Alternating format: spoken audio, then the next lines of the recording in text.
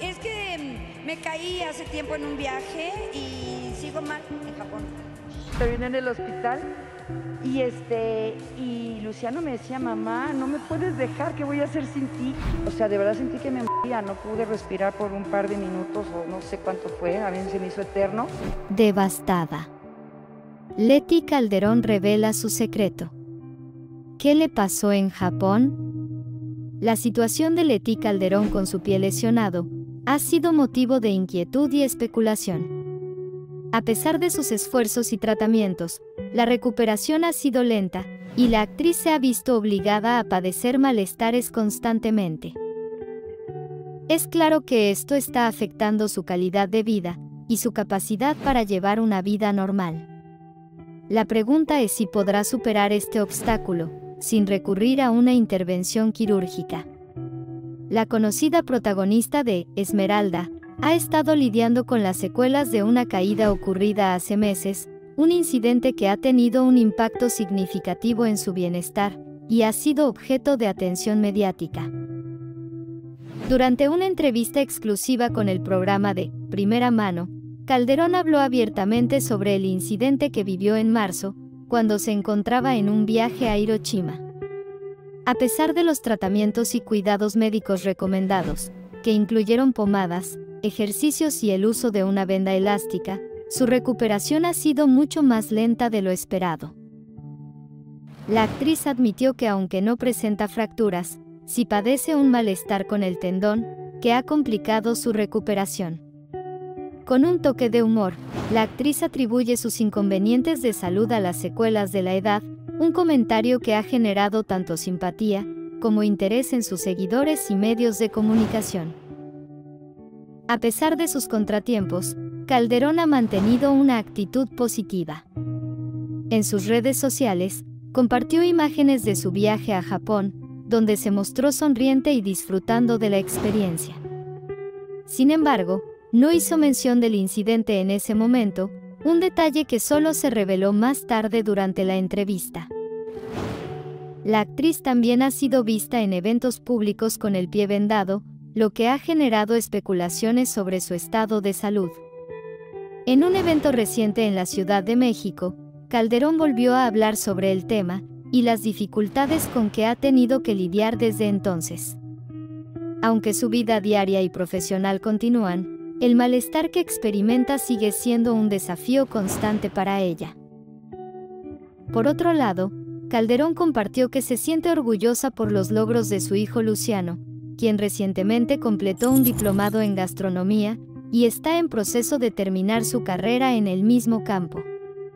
Los fanáticos y seguidores de Calderón han respondido a su situación, sugiriendo diversos médicos y tratamientos para ayudarla en su recuperación.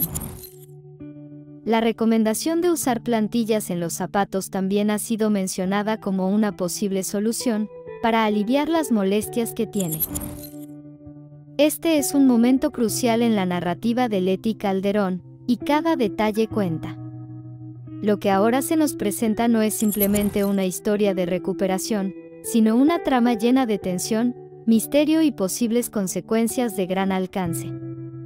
Manténganse atentos, porque lo que podría parecer una simple molestia, podría tener repercusiones mucho más profundas de lo que jamás imaginamos. Terminó hospitalizada Leti y terminó por su vida. ¿Y sabes cuál era su mayor preocupación? Un chavito. Pues, pero el doctor prefirió dejarme un día en el hospital para hacerme más estudios, me hicieron resonancia, tomografía, análisis. Y es una migraña y que le llaman cefalea este, explosiva. Me asusté muchísimo porque sí me explotaba la cabeza. ¿Qué le pasó a Leticia Calderón? ¿Por qué fue hospitalizada? ¿Y cuál es el estado de salud de Leticia Calderón tras ser hospitalizada de emergencia? Leti Calderón es una de nuestras actrices favoritas, y por supuesto, ha estado en el ojo público en varios escándalos, principalmente debido a su relación y posterior divorcio con Juan Collado. Lo que causó gran preocupación a sus seguidores y al público en general fue su reciente ingreso al hospital. Durante una entrevista para el programa Sale el Sol, la protagonista de la telenovela, Esmeralda, reveló que tuvo que ser internada en el nosocomio, explicó que fue una situación sencilla, relacionada con fuertes dolores de cabeza. ¿Cuántas veces nos ha sucedido que nos aquejan estos síntomas, impidiéndonos soportar la luz o incluso parpadear? Leticia Calderón vivió exactamente esta situación.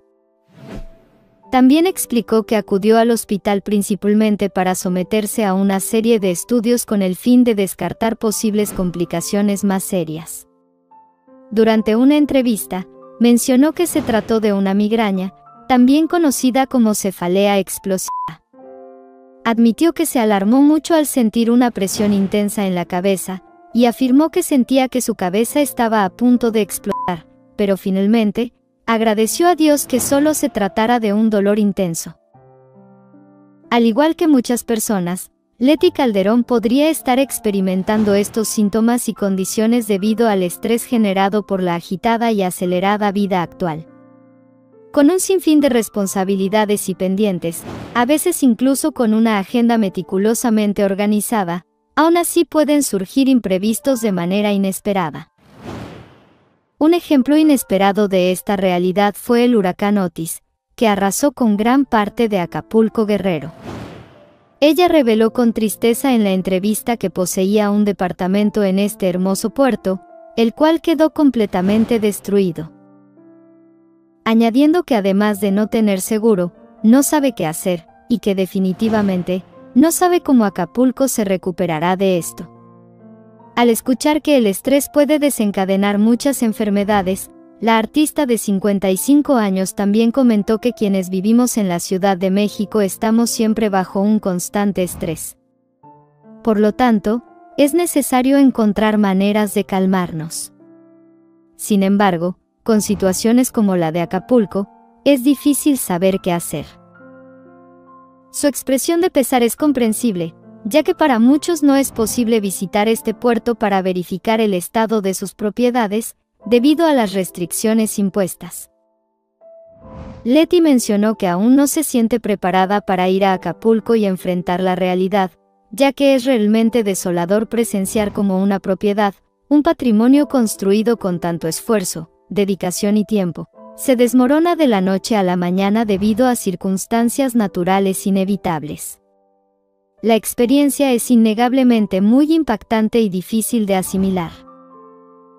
Leticia Calderón afirma que no ha ido ni tiene intenciones de ir, pero ya le enviaron fotografías, y literalmente, no quedó nada. Esta situación no solo ha afectado a Leticia Calderón, sino también a numerosos personajes públicos, y por supuesto, a mucha gente en general que jamás anticipó la devastadora fuerza